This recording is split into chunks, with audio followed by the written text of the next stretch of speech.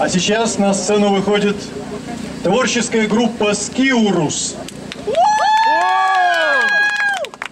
с номером «Будильник».